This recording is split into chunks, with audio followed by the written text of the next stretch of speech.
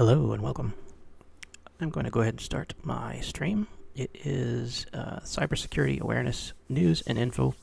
It's actually episode 12, and it is January 26th. My old marquee still flashed the old date and number, but we'll correct that, hopefully. Um, what I have today is the usual. Let's switch to that frame. So here's uh, my social media contacts. I am Loren MJ on YouTube. You can find me in the same name, Loren MJ. Twitch, same name, Loren MJ. On Twitter, you can find me as LMJ underscore OU. Uh, my email for business inquiries is lorenmj at gmail.com. My schedule is I do Thursdays and I do about one hour. Sometimes it's a little longer and sometimes it's a little shorter, but we try to go for an hour.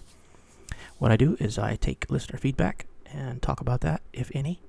And then I uh, talk about the news. I pick a few news items that are worthy of mention and talk about them in the cybersecurity sense and uh, lessons learned. And then I also do a part called a how to instructional, which I happen to have this week. I had to skip that the last few weeks, but I have it this week. And then finally, I have a website tool of the week of something you can use yourself and be able to enjoy uh, some kind of little free tool or whatever that has helped me and might help you. So to get started, let's go with the listener feedback part. On the listener feedback, I have heard from um, a sponsor, actually, uh, someone who wanted to go ahead and provide a sponsorship. I am still in negotiations, so uh, we won't be talking about that yet. I won't reveal who it is. I can't talk about it uh, very much at all. So, uh, uh, just that I did receive it. Uh, I didn't see anything else going on in in Twitch activity or YouTube. As a matter of fact, I don't think I checked YouTube. We should probably look at YouTube, shouldn't we? That's easy enough to do. Let me just do that real quick. And what I can do is I can look for any sort of feedback that came in. Uh, it's pretty easy to find. Um, and that is it. Looks like. Uh, no. Okay. So that's good. Let's skip that part then. And we'll go right into the news. Now, in the news, uh, we're going to start out with this story here. Let me show it. Um, here we go. Uh, so, we're going to talk about the first story. Uh, we're actually going to skip one of these stories. I decided just a few minutes ago that I'm not going to follow that story anymore. I wanted to give you an update on a story, but I'm not going to do it. Uh, there's that new marquee. Thank you very much. It is episode 12. So, um, mark that off as done. And then the first story is going to be MailChimp says it was hacked. Again, uh, this is from Zack Whittaker of TechCrunch. Uh, dozens of computers, dozens of customers' computer data or data was exposed. This is now make, making the second time on January 11th. An internal tool was used inside of MailChimp, the organization. They used um, a compromised employee accounts that were gained through that internal tool to gain access to data on 133 MailChimp accounts. Uh, those people have been notified. Uh, those customers. Uh, one customer in particular is uh, WooCommerce, and they received a notification from MailChimp. That notification said that their names, web addresses, and email addresses, uh, but not passwords or other data, was taken. So, not passwords. Same thing happened last August when a social engineering attack was successful. So that time it was social engineering. This one it was this time it was a internal tool was compromised, and that internal tool became multiple employee accounts that were compromised, and then it became larger. Uh, so the cloud giant DigitalOcean confirmed that its account on MailChimp was compromised by the incident, and they took the opportunity to harshly criticize MailChimp in handling that breach. There's nothing like another tech company harshly criticizing another tech company. Uh, MailChimp said that they have implemented security measures to enhance security, but have not said what those were. Uh, so being very silent about that. Now, take note of this. After the August breach, so this was that was the first breach, uh, their security enhancement was to fire their CISO well, well, at least right after August, it was announced that the CISO was departing. So, so I wonder, well, are these enhanced security measures just firing the CISO? And if so, are we going to fire the current one? I wonder how many put that in their tool belt of security tools. Let's see, we have AI we can turn on this problem, or we have detection software deployed, or we have contracts with providers that we could start looking through and have lawyers going after them, or we can just fire a CISO. Hmm.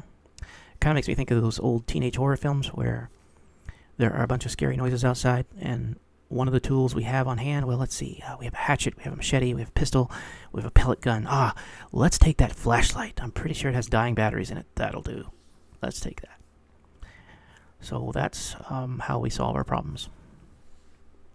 If you're um, a chimp that delivers email. So let's move on to the next story. Um, this story is kind of an old story, but I wanted to highlight it for a new reason. And I don't know if this reason was ever covered when it came out, so I'm going to just pull back into history and I'm going to show this to you because I think it's kind of interesting.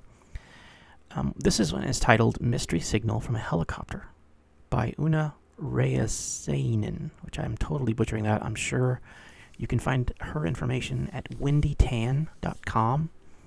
Uh, that's a personal website for this person, I believe. Uh, they are a data analyst or a signals analyst, and um, apparently the story goes that uh, she was looking at YouTube and it suggested something for her to listen to or to watch, and it was a um, it was a um, broadcast that came from a helicopter. I guess a person was uh, flying over Kansas City doing a normal thing. I don't know, traffic, something like that. And this sound analyst, uh, noise analyst, or signals analyst could hear something in the background noise. So she took that and then did some tweaking of the signal and using her signals analyst and self-proclaimed geek tools, she noticed that noise as having a pulse effect. So she used some tools on it, came up with the analog to digital signal that was being sent out, and it seemed to be telemetry data.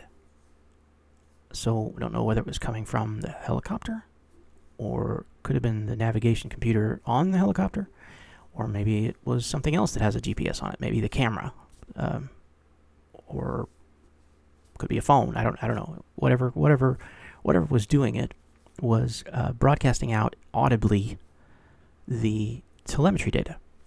Um, I'm going to go ahead and play it so you can hear it. This is what it sounds like.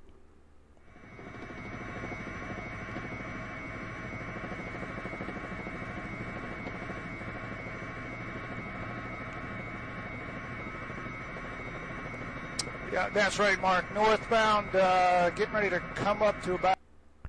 Okay, so you, you hear it, right? So hear that regular noise, that beeping, that uh, constant uh, repeating of a signal, it seems like. The wavelength, of course. So um, what you could hear there is the telemetry data going out. So what she did was she turned this telemetry data into data and was able to trace the helicopter's path through the city because it was telemetry data. So um, she goes on to create a map of where the uh, apparently uh, where the helicopter flew. So she um, was able to figure out where exactly you know it flew and what it did and of course the coordinates and everything. So uh, I realize that this is an old article; it isn't news, um, and but it highlights a, a an important privacy principle. Uh, something that's important to me is you really need to be careful what exactly you are broadcasting or leaking from any sort of communications equipment. Uh, what if this wasn't a uh, chopper doing a run over a city but rather something else. For example, what if it was a law enforcement helicopter trying to run down a criminal, or perhaps it was a stealth helicopter picking up important asset covertly? Um, well, it wouldn't be so covert, would it? Uh, you would be able to track the helicopter real time. What if this wasn't a news person aboard a na- but a person aboard Navy One, the president's hel- personal helicopter, and this sound came over their live broadcast? Well, if so, you could track the president's exact current route in real time. So that would be a bad thing. Uh, this is why you have people like this, people like her, uh, people like me that do this sort of signals analysis, or really any analysis person. Uh, watching broadcasts, doing air quality checks before broadcasting. It'd be very important to be able to nail down what are these, what are these, what are these signals from. When you hear something like that, that's a digital signal. Everybody, everybody that's in IT can recognize that. They can hear that. Anybody who's heard, uh, you know, a modem synchronize can hear those noises and say that's digital. Uh, I mean, it's auditory, of course, so it's a so it's an analog signal that you're listening to, but you're listening to a digital signal being converted to analog, and that's what it sounds like. We've all heard that when you've heard a modem start to connect. So uh, that's what that is. Uh, you need to figure out what that is. What could you be broadcasting? So it's fairly academic for this person, the sig- signals analyst, to convert this into an exact path that this chopper took. Um, that in this particular case, it was um, innocuous, right? But what if it wasn't? So let's move to the next story. We're going to go with um, something Apple's done. So let's talk about this. Um, this was a bit old. I think this goes back to January 24th, so it's a couple days old. But um, Apple is celebrating Data Privacy Week. So let's talk about this. So the story is Apple marks Data Privacy Week with in-store privacy training and more by Jonny Evans of Computerworld. If you are an Apple customer of any sort, uh, maybe you like their phones, maybe you like their computers, maybe you like their iPads, uh, whatever, or perhaps you are a um, non-techie family member who you know needs some privacy training, uh, and they are an Apple customer. Well, this might be good news. So this is some, something you can do for them. You can send them to this and say, uh, well, here's what you're going to learn. Uh, so they put this together what is Apple doing here exactly? Well, they're trying to help people understand privacy and what it means for a person. A lot of people just not chalk it up to, well, I'm not valuable, so my data isn't valuable. But you need to understand that yes, you are valuable. You are a uh, consumer in the United States. We're called whales for a specific reason, and that is because we are considerably wealthier than the average person in any other country. So just our residual wealth can mean life or death or can fund um, activities in another country. So we need to be very careful about that. Even our private uh, funds that we don't track, uh, you know, are are important to other people. So what has Apple done? Well, they've published an amusing short film, which I won't I won't play. You can you can play it on your own but um, it's a video that uh, explains how privacy is related to data and how it's gathered and how it can be abused and how you as an iphone user can protect yourself.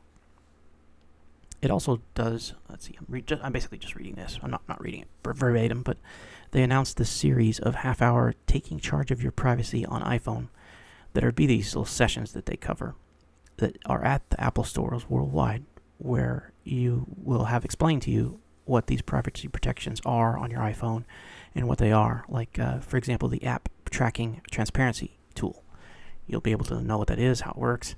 You can help a person through it. Uh, you can learn it yourself if you're the techie of your family. The other thing, last thing that they're going to that this company is doing is they're in the process of rolling out iOS 16.3, which uh, you could already get as of. Um, I know I did it a couple of days ago, but it's probably available even before that where, uh, which gives iCloud users a way to encrypt your data that they store on Apple service to hide that information from prying eyes. So there you go. Uh, basically, this is sort of free training, and why not take advantage of it? And why not help uh, your family to be more engaged with cybersecurity and privacy?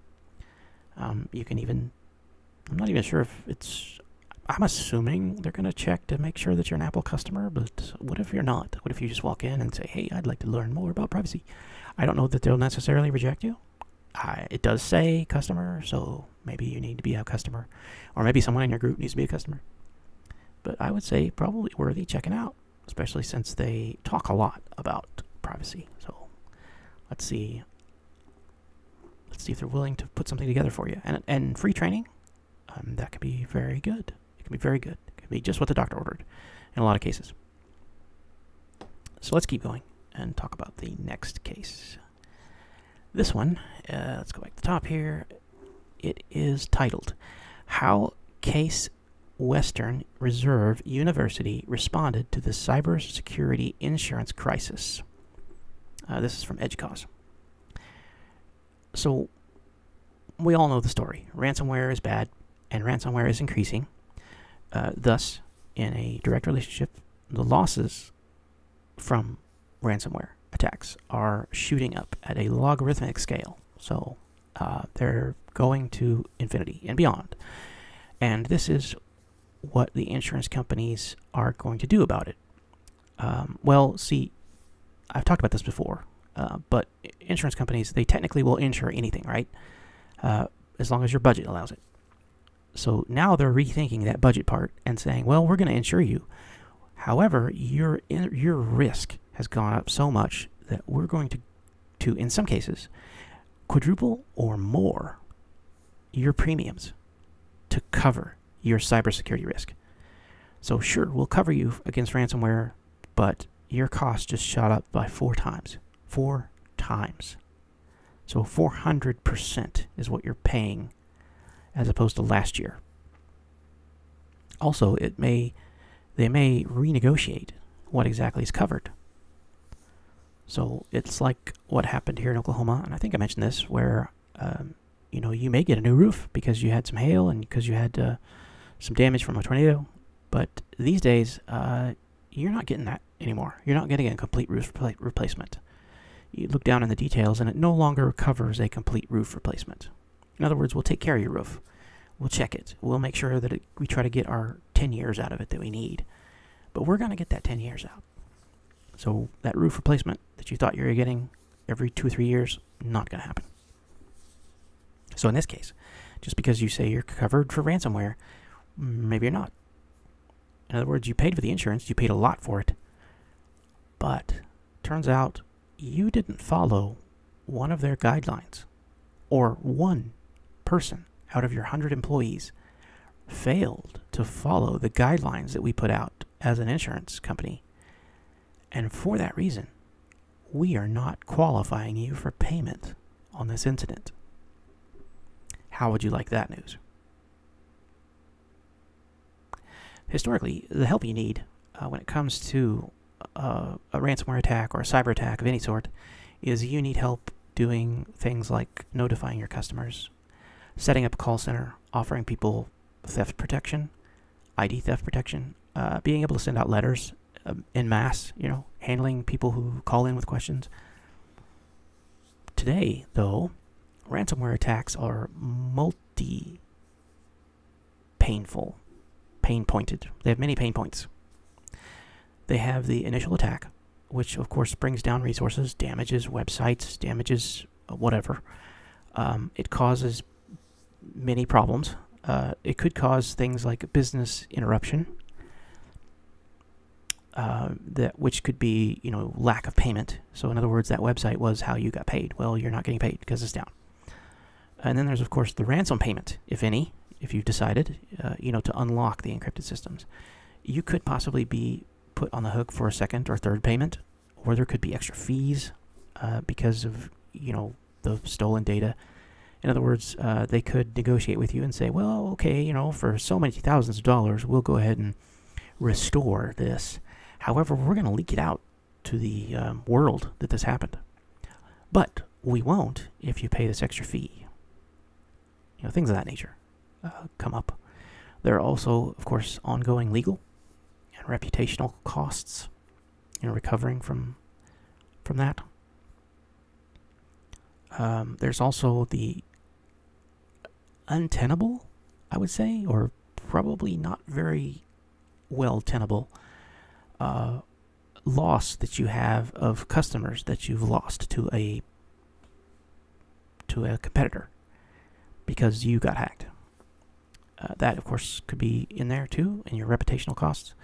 Apparently, with all this counted, the new average cost of a ransomware attack, specifically on a higher education entity, is $1.42 million. So that is what this article is about. universities, of course, are multifaceted.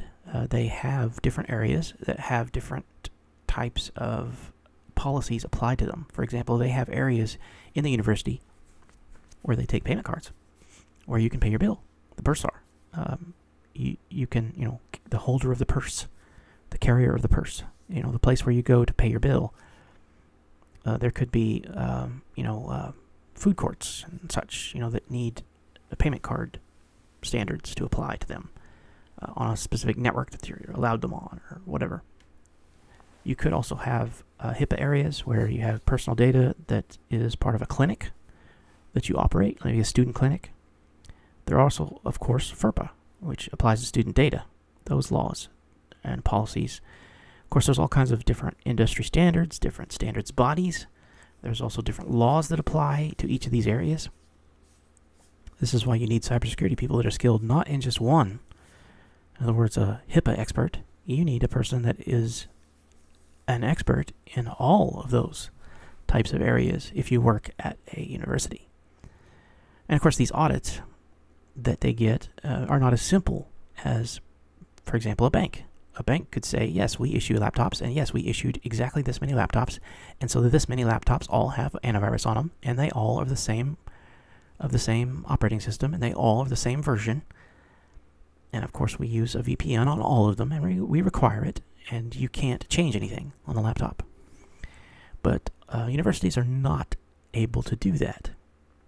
And so these audits that are performed, or these initial questionnaires or initial forms you fill out when you go with a particular cybersecurity insurance, some poor IT person, this admin, is left trying to explain uh, you know, the answer to a question on this form or this answer in an audit of, you know, why exactly this firewall rule is applied here but not everywhere or it's only in this one place. You know, you, you end up uh, answering these questions in an essay form. And each, each question gets answered in an essay form because this poor IT admin is left to try to explain these things. So it is not cut and dry. It is very uh, multifaceted, very complicated for a university to tackle this. Thus, the higher cost. So, um, once again, these costs are going up, and insurance is raking it in. You know, you could always do something, which I think this article actually talked about, which was to do something called self insure. Self insure is kind of uh, the idea that is uh, that you put enough money aside that you can help yourself out of this problem. So, in other words, if uh, it requires 1.42 million dollars for an insur- for the uh, university to crawl out of this problem, well, then the university would want to put aside 1.4 million dollars uh, in a bank account and not touch it until a cybersecurity incident happened, and then they could access it. Uh, they could follow their own rules they don't need an insurance company to look at them and audit them and decide whether they're going to pay or not. They can simply use the funds because they're the master of their own funds. So, uh, in all cases, I would favor that.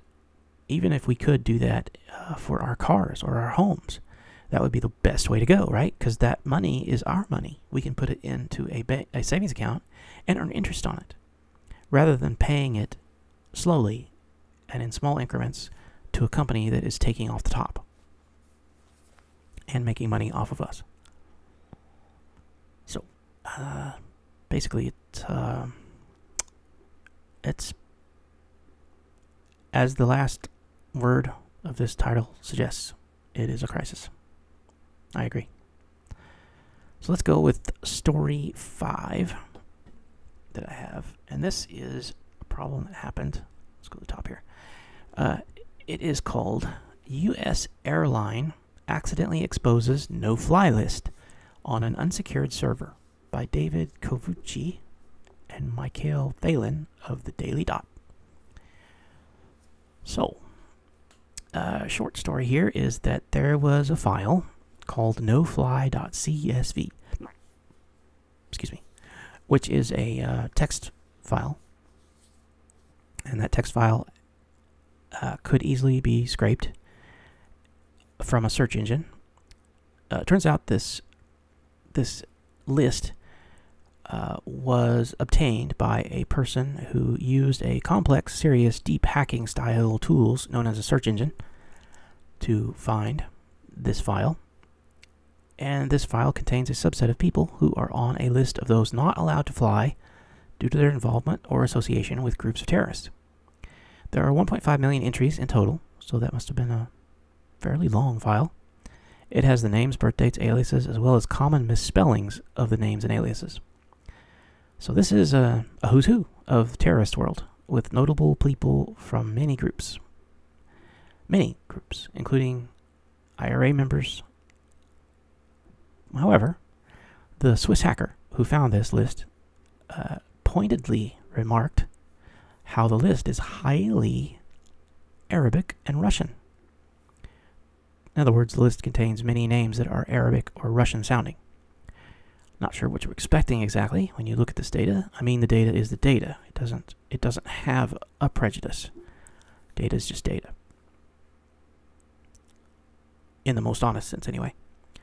So the server that hosted this file has been taken down, of course, and the explanation that followed was that the server was used for development, which in layman's terms means that it's a case where they were using real data to perform tests on servers and equipment that they hadn't put in production yet.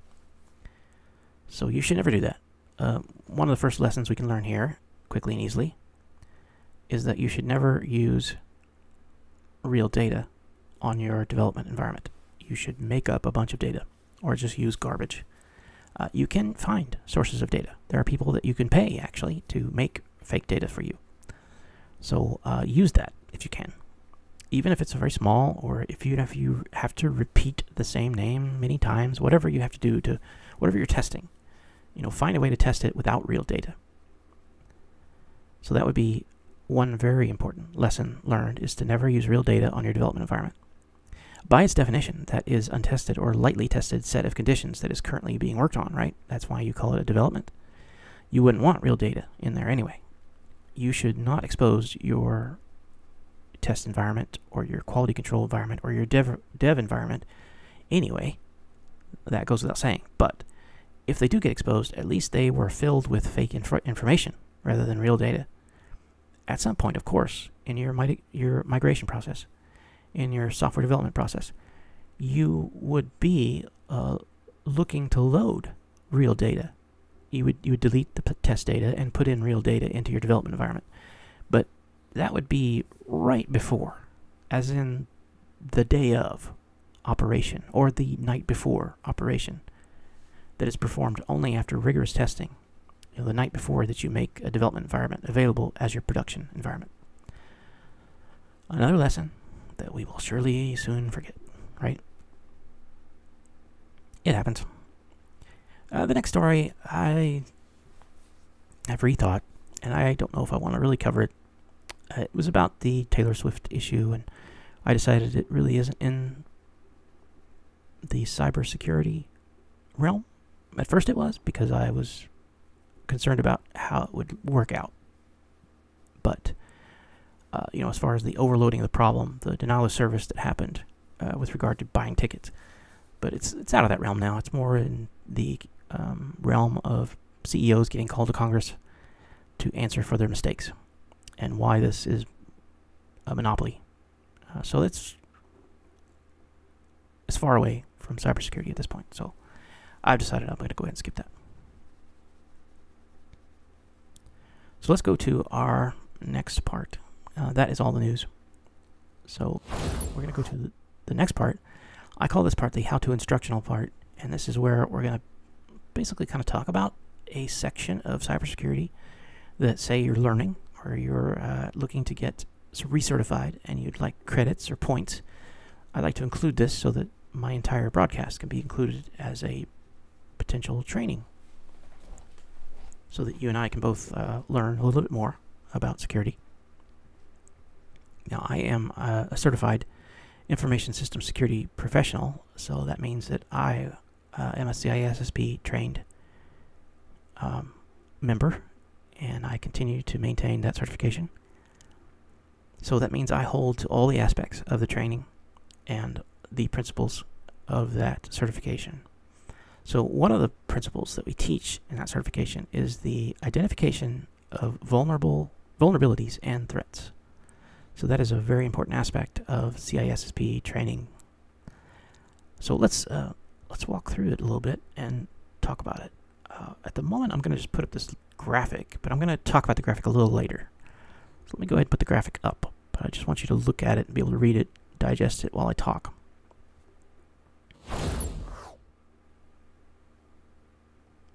So uh, let's first off let's get some gl glossary down. Uh, first thing is vulnerability. Well, vulnerability, of course, is a weakness in a system or its design. Uh, vulnerabilities obviously increase risk. Uh, they must be identified and classified, and a risk analysis performed on them uh, once they're found. Uh, vulnerability just naturally is a flaw, right? It's usually a type of flaw, and the types could be categorized, di categorized different ways. In the uh, CISSP training material, there are different ways we classify it. Uh, for example, one thing we call is design errors. There could be an error in the design of a product or uh, device or process. There are also software vulnerabilities. So um, um, it could be operating system or application that is, uh, you know, it has a bug in it. There could also be weaknesses inherent in the technology or the protocol. So, for example, the DNS protocol is very important on the internet, and there could be a known weakness inside that protocol that perhaps lends it to be a vector to be attacked. There are also hardware vulnerabilities, and, and those would be vulnerabilities that are just inherent in the hardware. So, whatever device you've purchased, for example, a phone, that phone, because of its uh, was being uh, part of its manufacturing process, it was designed and has a hardware vulnerability in it. So that would be classified as a hardware vulnerability. Uh, there's also mis misconfiguration. Uh, this happens a lot and is often confused with human error, but it can also be a distribution problem as well because uh, many times something is distributed in a certain way or it's sold to the customer in a certain way where it is inherently weak for example, think about uh, how we used to buy our Wi-Fi routers, and those Wi-Fi routers didn't have anything turned on. They didn't have any security turned on. They were just completely open, so anyone could connect to them and get into your network. Well, things have changed. Um, now you buy a Wi-Fi router, and the first thing it's going to walk you through is turning on your security. It will be pretty much a must. You must turn on security. It, it won't work otherwise. So it kind of forces you to uh, make those configuration steps and to configure yourself correctly. However, there's always, on top of that, the human error of, well, I tried to secure it properly, but I mistyped something, or I left something open, or I left something obvious, or I used the IP address as the password. I mean, something like that. You know, I thought I thought that that was supposed to be where I typed in the password, but instead I typed in the IP address because that's I thought that was supposed to be where I typed the IP address. You know, that could be some simple thing like that. There are also, of course, um, out, ex outside external type things like a malicious software introduction. So there could be someone that downloaded something malicious and is running it. Uh, could be an inside attack. Uh, there also could be a problem with, uh, given you know, there could be an, an, employee that's that's against the uh, the organization, but they they they could have physical access right? They could have physical access to the resources that they're attacking. Uh, so that's a problem. That's also considered a, a, classification. So in summary, it's it's design errors, software vulnerabilities, protocol weaknesses, hardware vulnerabilities, misconfiguration could include human error, and then malicious software and physical access. So threats are in their own class. Um, they are related to vulnerabilities because a vulnerability doesn't necessarily equate to a threat. Um, because there could be someone that takes advantage of that vulnerability and that becomes a threat. But then we could close the vulnerability and then there's no threat. So uh, it depends on how you look at it. But they are of their own class because it could mean the possibility of an attack.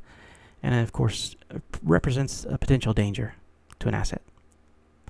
So what do we do? With things like this. So this is the reason I put this graphic up in front of you. Is I want you to digest it. Is that um, this graphic is has nothing to do with information technology. It has nothing to do with uh, cybersecurity.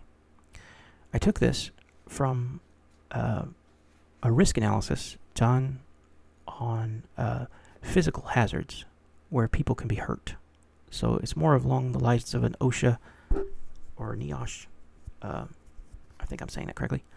Some of their standards where they try to protect workers from physical harm.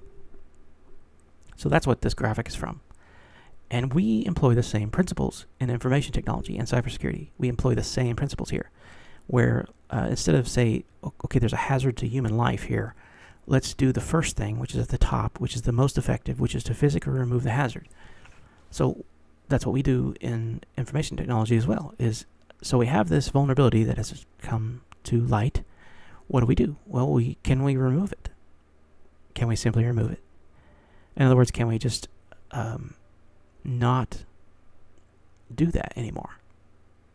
Um, so could we just turn it off? Well, if we just turn it off, we're no longer vulnerable. So there you go, right? Uh, what if you can't remove it? Okay, well, we drop down and go to our less effective means of mitigation, which is to replace the problem, right?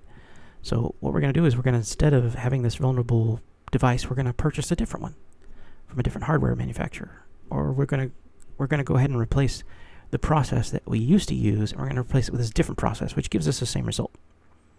So we could do that. We could do a substitution. We could also uh, do an isolation. Now, this what this would do is is you would take people away from the hazard. Uh, so a person could get hurt if they're standing there, but what we're going to do is we're going to change the fact that they can stand there, right? We're going to make sure that they can't stand there. We're going to put guards up in place where people can't go.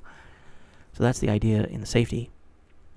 So in risk management uh, for information technology, we would just say, well, we're going to we're going to put something around it so that people can no longer get at the vulnerability.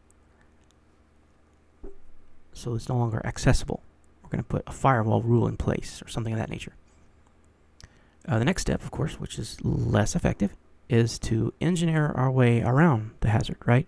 So um, you could do that with information technology. You could say, well, let's uh,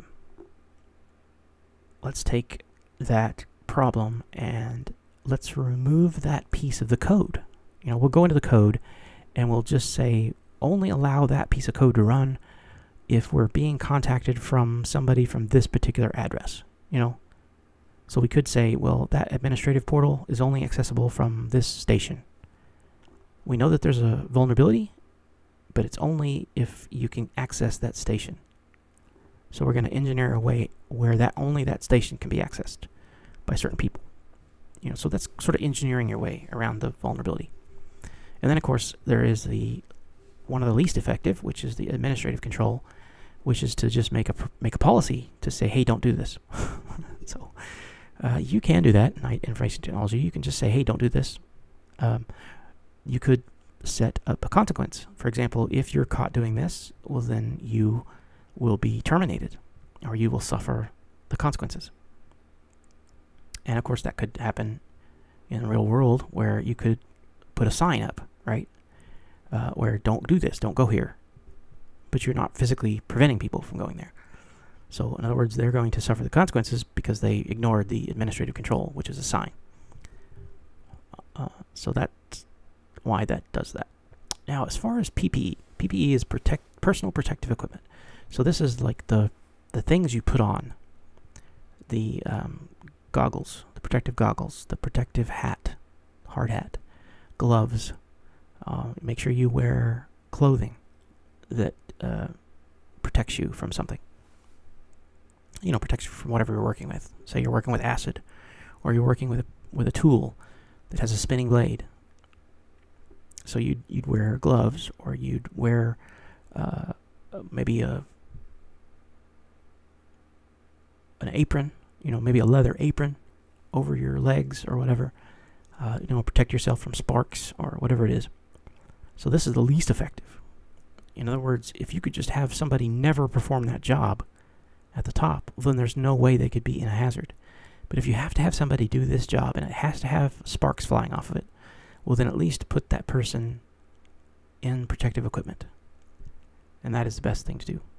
So, how do you translate this into information technology? Well, if we have to have that vulnerability exist, well, then we can do everything we can to prevent people from accessing it, right? We can we can make sure that something something is watching it, right? Um, actually, NIST helps us out here because uh, NIST, NIST, is the uh, organization that helps with with risk management if you're an enterprise.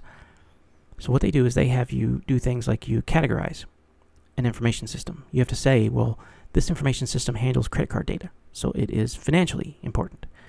And then you do what's called a you select a baseline security controls. You say, okay, only only transactional data comes in or out, nothing else does. And then you do supplementary security controls where you perform a risk assessment and say, well, let's supplement it with this, you know, firewall rules that prevent people from accessing it. Uh, then you can document these security controls, put them in a plan, right? Put them, make sure that someone there knows that uh, this has been done a certain way to prevent a certain problem. You know, you document it. You would, of course, constantly assess the security controls for their effectiveness to make sure they worked after you implement them. And then you would, of course, authorize only people that need to be in this particular place. So that would be like you're putting a single person in charge of it, or two people. Maybe you're putting two people there and saying two people can access this, but only these two people. So they must authorize themselves first. They must authenticate themselves, like sliding a card. And so you know it's them. And of course, nothing else, you can monitor the safety control, right? Like you can put a machine on it that does nothing but logs activity, right? So you can look at this as a, as a negotiation table, right? So on one side of the table, you have vulnerability and risk, problems, hackers. And on the other side, you have controls, right? The things you deal with. So you can you prevent what you can using preventative controls. So you reduce the chance of the error happening, maybe making two people look at or approve a transaction before allowing it through. Something of that nature. That's a preventative control. You prevent a problem by having two people look at it and approve it. They both have to sign off on it. Another thing is a detective control. So you, you have a detective control, which is a knob that you can turn, which is a process you put in place to monitor a vulnerability or potential attack vector and report in real time anything that happens. So if things if somebody starts jiggling the locks on the building, you know, it'll cause an alarm go off. Or you have a security camera on a door where anyone going out in and out that door gets logged. You can see.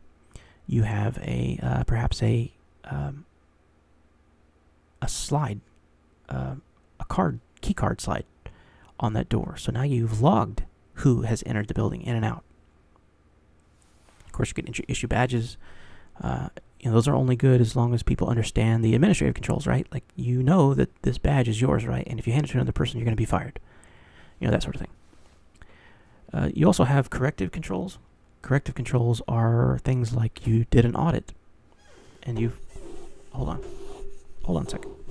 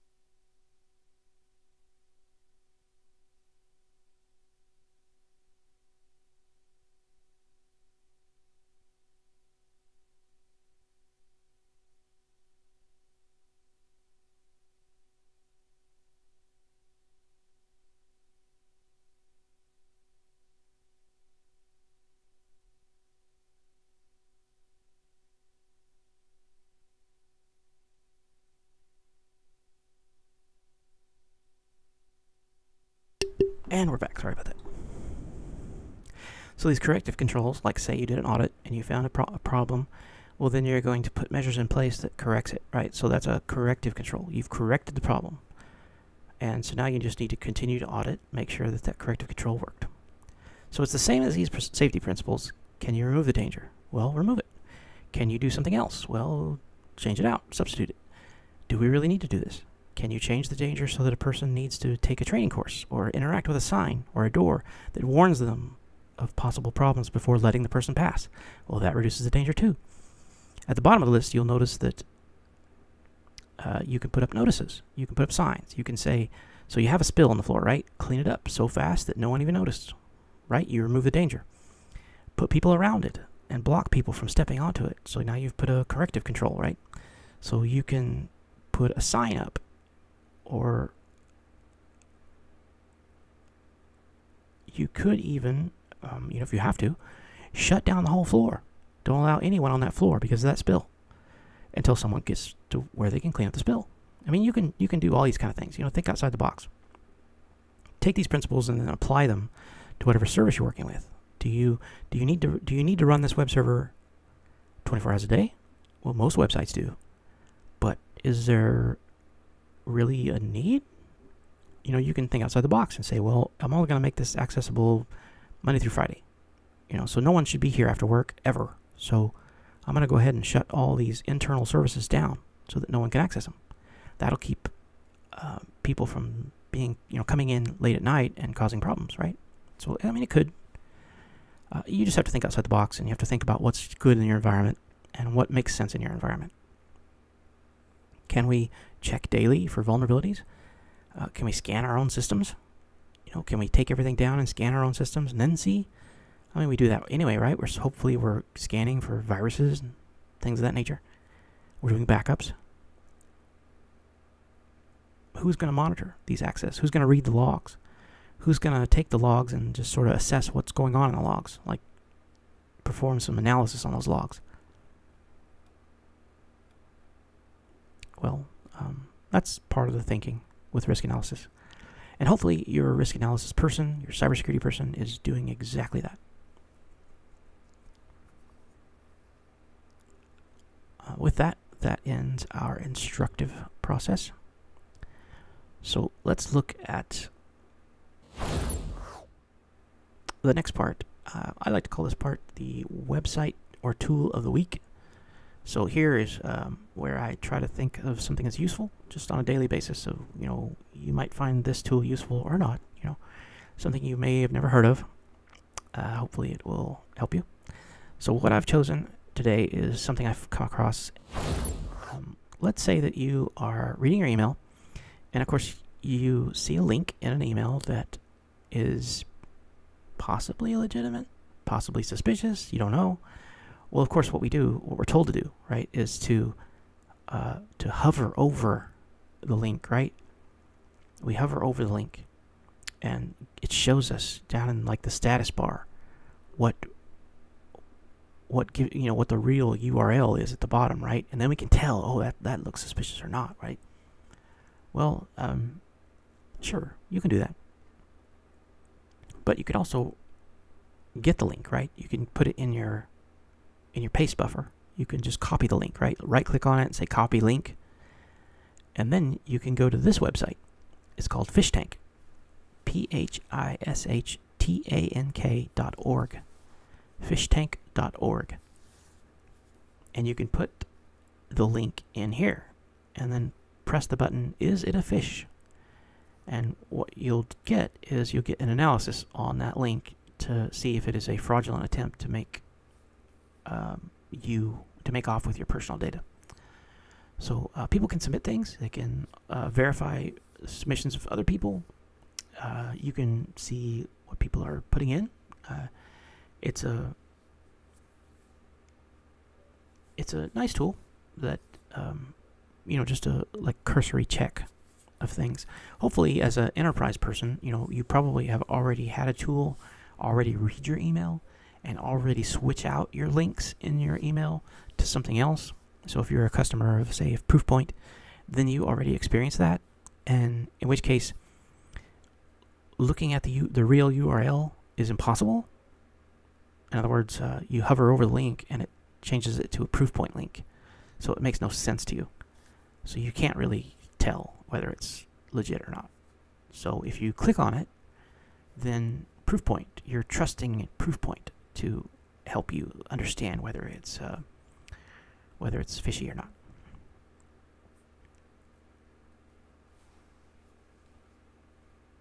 So this is a decent way to be able to tell, you know, is that link really suspicious or not?